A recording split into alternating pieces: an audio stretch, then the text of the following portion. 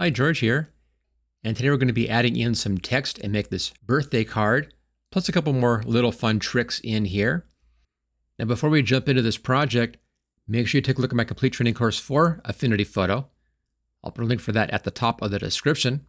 Now for this, I'll be starting off with a brand new image. Let's just go ahead, we'll close this thing down. And I'll choose Save As. I don't want to be flattening anything here. And I'll just call it Birthday Card. There you go, saved and gone.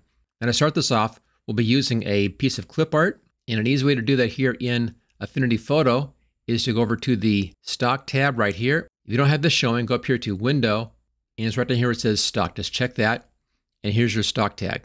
Now, I did a search for birthday cake, and you can look on either Pexels or Pixabay. I used Pixabay, and then just find something in here. Now, these are kind of small. You can make the area larger, but it doesn't make your images any bigger. So that just gives you more columns to work with.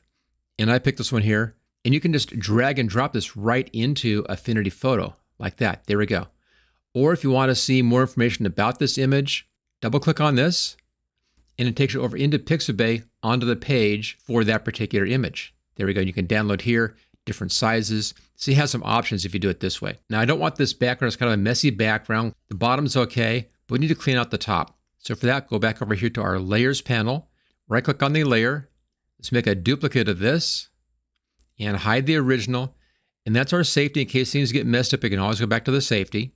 And in here, I'll make a selection around this and I'll use a layer mask to hide that background area. And I'll just use my favorite tool. Go over here, left-hand side, click on the rectangular marquee tool, hold your mouse button down and you get the options. Click on freehand selection tool. And then up here under type, I'll put this out polygonal right there. And make sure we're at new mode leave feathering at one, that should be okay. And let's come in here and make your selection. Now with this tool, you click dots and then Affinity Photo goes in and fills in the line between your dots. If you have a curved area like this, you put your dots closer together. If you have more of a straight area, your dots can go further apart. And the real trick here is just taking your time to position each one of the dots so it's in the right spot. But we'll come back in and we're going to be cleaning this up anyway afterwards. Part of the reason for that is we do have some dark outlines in there. We're going onto a light background, so there will be some dark haloing around this, but it's fairly easy to fix.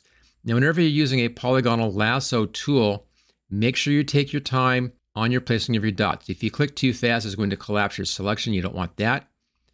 So just give it a click, wait a beat, and then do your next click. Normally, as you're finding your next spot, that's enough of a beat anyway, so it's usually pretty easy, but keep in mind it can possibly collapse on you. So don't go too fast with this tool. This actually is the hardest part of this whole project, so here's where you want to take your time and get this right. And let's go around these raspberries up here, and we'll finish making our selection. And once we have that, we can then come in and do a background gradient, which has some nice options in here in Affinity Photo. Okay, coming around this side down here, a little more open here so we can go a little bit longer on our movements in there. Shorter moves, of course, around these curved areas. And then longer moves around the larger smooth areas. And when we get to the outside here, just a second, you can actually click outside, hold the space bar down. We can then move this up. Let go of the space bar, this stay outside like this, and clear around down here, back up this direction spacebar again, and back and go right on top of your beginning spot there and click, and that completes our selection. Now just go over here, right hand side, and click on the mask layer button. It gives us a layer mask for that. Use the Control D keyboard shortcut to delete that selection. Now I want to have this layer mask tied in with this layer below it. So I'm going to right click on this and come down to mask to below. That then links that layer mask onto that one layer. Okay, you'll see there's a separate mask right below there. Now, that's done, we can clean our edges up. So it has some dark edges in here, especially on the light side. That's the part I want to clean up. If it's dark over here, it's on the shadow, it doesn't matter. But if it's dark on this side, I want that to be gone. So we'll do that fix on the layer mask itself. Notice that there is a little thin light blue outline around that. That means that the layer mask is selected. So go over here, grab the paintbrush. Make sure your foreground color is black. You should see it over here or up your right hand side. If If you see white dot in front like that, just click this little double arrow and that switches it. The black dot is now in front. And if we paint black onto the layer mask, it's going to hide anything. If I paint white, it's going to show. So black hides, white shows. And then all I have to do is just come in here and carefully paint along these edges. Now you notice one thing about Affinity Photo, and that's that even though up here it says that the opacity is 100%, it actually isn't. It'll take a couple of passes to get this perfectly solid. So you'll still see a little bit of something showing through. I can show that even better if you come down here. I'll make a new layer right here. Let's fill this layer with white. I'll reverse my colors. Go up to the flood fill tool. Let's make sure we're still reversed. There we go. We'll fill it with white, and you can really see that edge. Okay, back to our paintbrush. And let's go up here, back onto the background layer. Make sure you're still on the layer mask side. You can tell if you are because the color swatch up here will be black and white. Okay, now I can come in and just carefully paint along that edge where those dark parts are. And we're just painting out that dark area. And again, it may take a couple of passes to do this. You can zoom in if you want to, to zoom in like this real tight. You can see there's where it's not quite fully going away. So it'll take a couple of passes to make sure that that's completely covered. Use the space bar to move your image. If you want to change the size of your brush, I see left square bracket to go smaller, right to go larger, also go smaller here. And just take your time on this and kind of clean things up. You see a little bit right up in here. We'll just take that out and work around. And again, where this is important is wherever the raspberry is light in color. So there's some light hitting it. And you can see right here that we're seeing a little bit of that in there. So a couple of passes on that and that will go away. I can leave it over here on the right hand side. That's just fine. Doesn't matter down here. Space bar. And same thing on this one. Just come in and paint this out. And again, take your time on that, do a couple of passes on that. Doesn't need to be absolutely perfect. You don't have to get rid of all of that darkness, just a little bit. So it's not too much. So a little looks natural, like this would look natural. Too much looks like a halo. Okay, do the same thing in here for this raspberry. I'll leave a little bit on the raspberry in there. Again, that's going to be okay but too much is too much. Also, if you're leaving a little bit, try to leave it where there would be a bit of a shadow. This is kind of the shadow area for this one part of the raspberry, so I can leave a bit down here, and it looks natural. That's okay. And we'll continue on and just finish off this part of the raspberry. See, there's that little bit of a show through. I have to go back once or twice to clean that out. And then we'll get the top part. And the back side I don't care that much about. Again, just take your time on this and it will come out just fine. I'm going to come in here and just knock off a couple of those pointy edges. And that should be okay. Space bar, let's check this one down here. And this one looks okay. I'm not going to worry about that. Control zero, fit screen again. And I think we're okay. Now on this pixel layer, we can fill this with a gradient and give us a new background. So over here to the gradient tool. Notice how it's just showing me two colors in here set fill at white and color picker at kind of a gray. I'll leave those as is. Come in here below someplace, click and drag like that. You see there's your gradient coming in. I'm going to drag it clear off up here a long ways like that. So it's pretty soft on the gradient. And then make sure you clicked into this top part. Now inside of Affinity Photo, you can move your gradient around like this and get it just the way that you want. It's pretty easy to control these things. What I want is just straight up and up here someplace. And I clicked on this in, so I can go over here to the right-hand side to our color panel, and I can actually change my color just by bringing in more color. I'll bring in more of the red in here, it becomes more of a pink, like that. Bring in a bit green if you want to, and lighten it up just a little bit. We're going to be just a little bit of blue to help balance out the colors. The closer these are together, the more gray it's going to be. So if you move one and you want it more towards the gray, just move the other ones kind of over in that direction as well. And that gives us a nice soft gray up here in the background. Again, I could go more red if I wanted to, just like that. And that looks nice with the reds and pinks and so forth in those raspberries. And I think that looks pretty good is just switch out of there, click onto the move tool, and that's out of that section. Okay, now one special thing here. I'm going to back out just a touch like that. I use the wheel on my mouse to zoom in or zoom out. I could just use the zoom to put the wheels faster. Now, if you don't have that set up, go up here to edit, come down to settings, And then on the Tools tab, I'm going to click here where it says Use Mouse Wheel to Zoom. It just makes it real easy to zoom in and out with the mouse wheel. And the reason why I zoomed out is because of the effect we'll be placing onto the text. I want to have this background larger. So grab the upper right hand corner, drag that out, bottom left hand corner, drag that out. That just gets the edges of that gradient away from the image. And you'll see why in just a little bit. Okay, let's go back up here to our top layer. I'll use the control zero to zoom in on that. And then left hand side, come down here to the type. If you click and hold, you see we have two type tools, artistic text and also frame text. Basically, artistic text is your headlines and frame text is for paragraphs of text. We're not doing paragraphs. We just want a headline text. So click on the artistic text tool. There it is. And then go up here and click in here to place text. Now it comes with a real small typeface. That's just a 12 point. I'm going to change that up to 72, a bit larger. And just type in happy birthday.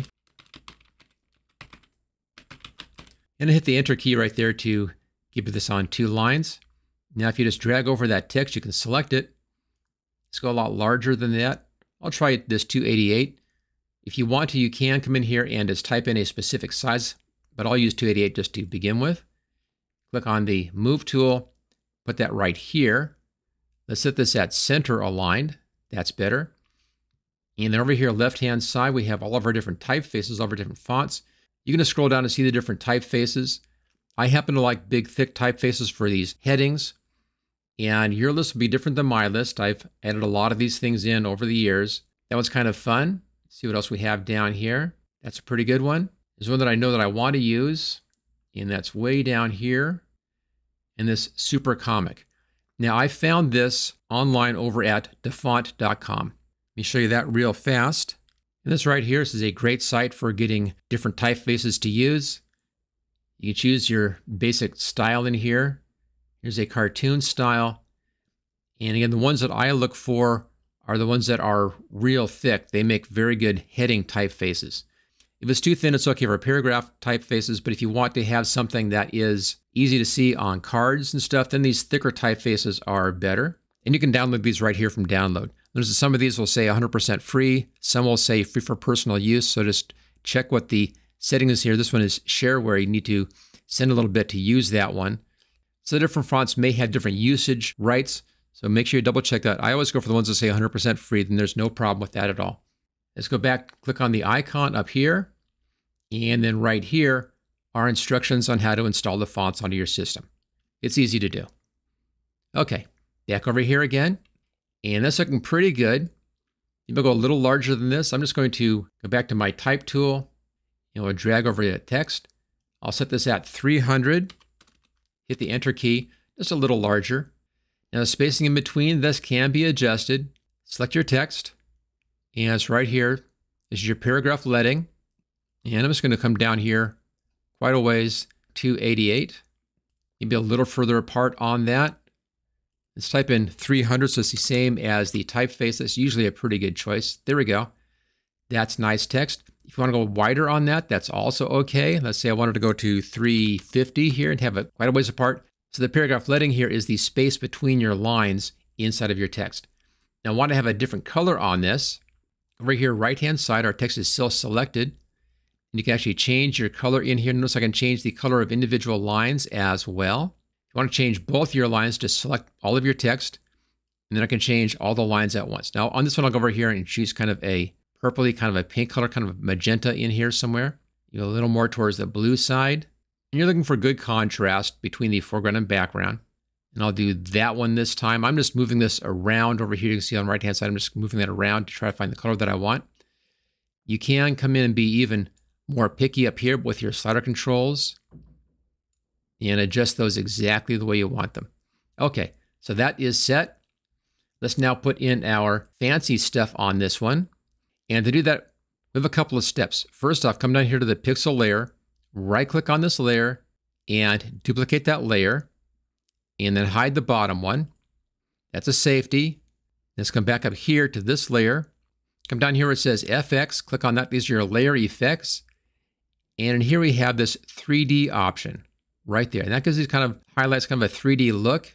And click on the 3D style. And you get this real nice kind of almost like a balloon look in here. I'm going to give it just a little bit of that, not too much. I'm still flat on the tops of the letters. You could, if you wanted to, go up here to bevel and emboss. You have some options in here, but I don't think it's quite as nice as what we're going to be doing. So we're doing it the hard way. I like this a lot better, but we don't have that outside part of that emboss happening. Let me show you how that's done. Let's just close this down, click close. Hold the control key down, click on the thumbnail for your text layer, and that selects the text. Let's now hide that layer. Come down to your top pixel layer, this is your copy, and just hit the delete key. And that cuts a hole in that. Now do Control D to deselect. And we'll now put the embossing on this one. Come down to the FX button. Back to our 3D. There we go. And we can adjust the radius right here. And this will give us that embossed effect that we're looking for. And you can really see that if we bring back up the visibility on the birth date. There we go. And get this real nice kind of double embossed effect. So actually doing a 3D effect on two different layers on the bottom layer and also on the text layer. It gives you a real nice, very exaggerated pillow emboss effect in there. And the reason why I so we had to change the size of our layer, I can show you that here. If I just pull this side in, you see that it gives us that same bevel emboss on the edges of the layer as well. Control C to back out of that. So I had to get the edges away from here so it didn't have any embossing happening on the edges of the background. That was why we did that one step earlier on. And if you want to learn a lot more about how to use this great program, I have a complete course for Affinity Photo, and I'll put the link for that at the top of the description. I cover everything in here, all the tools, all the menus, panels, everything. If you enjoyed this video, make sure you hit that thumbs up and give me a like. Also, if you haven't subscribed already, make sure you subscribe. I'm doing new videos all the time, and I'll see you next time.